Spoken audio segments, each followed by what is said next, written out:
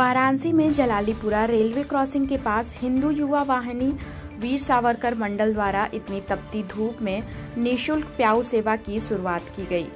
निशुल्क प्याऊ सेवा का उद्घाटन वाराणसी मंडल प्रभारी अमरीश सिंह भोला ने किया। साथ में वाराणसी महानगर अध्यक्ष अजय सिंह और वीर सावरकर मंडल के समस्त कार्यकर्ता उपस्थित रहे।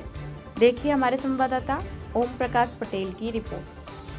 अमरीश सिंह बोला प्रभारी हिंदू वाहिनी वाले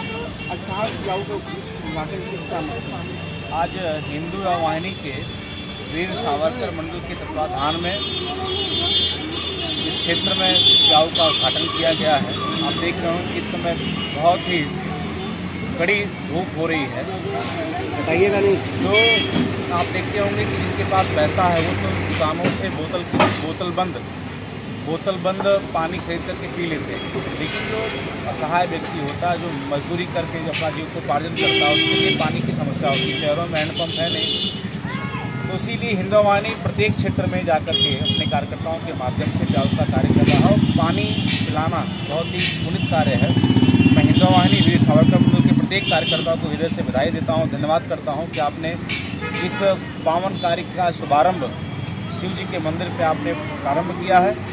आपके चैनल के माध्यम से मैं और लोगों से भी अपील करता हूँ कि जहाँ भी आपको दिखे कि यहाँ पे यहाँ पे निरंतर जहाँ पे लोगों का आवागमन होता है वहाँ पे प्याऊ की व्यवस्था आम जनमानस करें आपसे आपके चैनल के माध्यम से अपील करता हूँ। अभी तक हिंदू युवा वाहिनी के कार्यकर्ताओं कहाँ कहाँ पर कितने प्याऊ लगाए? करीब पाँच जगह पे प्याऊ अब तक लग चुका है। चंद्रशेखर आज़ाद मंडल और आज़ाद मंडल के साथ साथ तुलसी प्रेमचंद मंडल मालवीय मंडल वीर सावरकर मंडल जो है मालवीय मंडल के अंदर दो मंडल दो जगहों में प्याऊ का कार्यक्रम होता है और बाकी हमारे छः मंडल सात मंडल और हैं।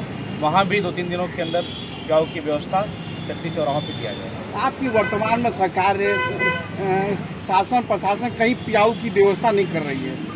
देखिए शासन प्रशासन ही प्याऊ की व्यवस्था खाली क्यों करेंगे आम जनमानस का भी कर्तव्य बनता है कि प्याऊ की व्यवस्था की जाए। और आप देख रहे होंगे प्रदेश सरकार हर क्षेत्र में अच्छा कार्य कर रही है और कहीं न कहीं हम सब भी प्रदेश सरकार से प्रेरणा लेकर के सब काम कर रहे हैं। वहाँ पर हैंड पाइप लगा हुआ था क्योंकि नल है नल में पानी आता है चला जाता है लेकिन हैंडपम्प एक ऐसी चीज़ है जो 24 घंटे पानी देता है। यही आपके सामने ही एक हैंडपम्प है जो खराब अवस्था में है बिल्कुल ध्वस्त अवस्था में इस पर क्या कहना चाहिए इस पर हम लोग के नगर निगम के अधिकारियों से बातचीत हुई है और जल्द से जल्द